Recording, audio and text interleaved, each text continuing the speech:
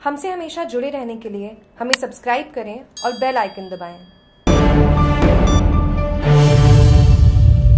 Desuri block में चार नए पॉजिटिव मरीज़ सामने आए। आंकड़ा हुआ 31 प्रवासियों ने फेरा, स्थानीय लोगों के प्रयासों पर पानी। देसूरी उपखंड क्षेत्र में रविवार देर रात चार नए पॉजिटिव मरीज़ सामने आए हैं। अब तक सुरक्षित रहे सादरी नगर पालिका क्षेत्र में भी अब कोरोना मरीज़ ने दस्तक दे दी है। इसी के साथ ब्लॉक में पॉजिटिव मरीजों का आंकड़ा बढ़कर इकतीस हो गया है। सभी संक्रमित रोगी मुंबई ऐसी लौटे प्रवासी व उनके परिजन हैं। सादरी सीएचसी प्रभारी डॉक्टर राजेंद्र पुनमिया ने बताया कि सादरी पालिका क्षेत्र में दो पॉजिटिव मिले हैं। इनमें से एक मेघवालों का बड़ा बास व एक देवाधड़ा बस्ती का है। वहीं मांडीगढ़ में दो व्यक्ति पॉजिटिव पाए गए हैं। सूचना मिलने पर मध्य रात पुलिस प्रशासन पहुँचा और संबंधित पॉजिटिव के क्षेत्र में हाइपोक्लोराइड का छिड़काव कराया। इसी के साथ मेडिकल टीम ने रात को ही चारों पॉजिटिव को सोनाना के कोविड केयर सेंटर में होम क्वारंटाइन कर दिया है। वहीं पॉजिटिव रोगियों के 16 परिजन व सादरी के कोविड सेंटर में होम क्वारंटाइन किया गया है।